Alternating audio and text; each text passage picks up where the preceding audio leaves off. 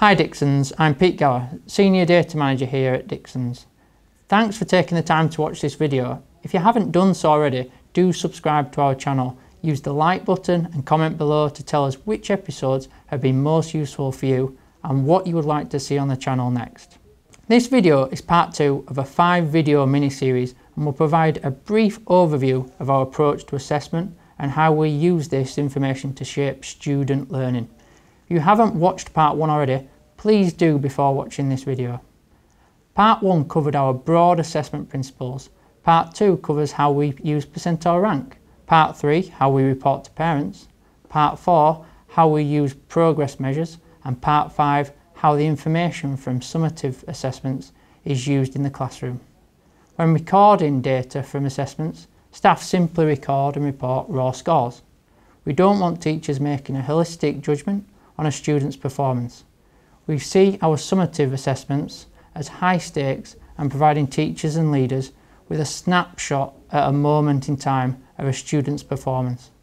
The submission of raw marks means our data is clear fact and free from judgment. Consequently, it is as accurate as it can be across a single academy and our trust. At leadership level, we use percentile rank as our means of approximating where a student resides along the trust distribution. This ranking can be used to track a student's position on the distribution over time and whether it diverges between subjects. We recognise using grades would be an imperfect and false way of describing a student's performance. This could consequently lead to false assumptions being made and possibly become detrimental to a student's development. Previously we have used a system of age independent grading. This tells you the grade a student would achieve in a national assessment if they took it at that point. Telling a year 12 student they are a grade C under an age independent model would mean that sitting an A level on that day would potentially lead them to achieving a grade C. However, with our system, we use the percentile rank to inform students of where they sit in relation to their peers. We can then use this data to see if a student is developing in line with their peers or is making large gains. What it does not tell us is what grade a student is currently working at. However, before a student sits a nationally referenced assessment, any assertion that X percent is equivalent to Y grade is entirely erroneous.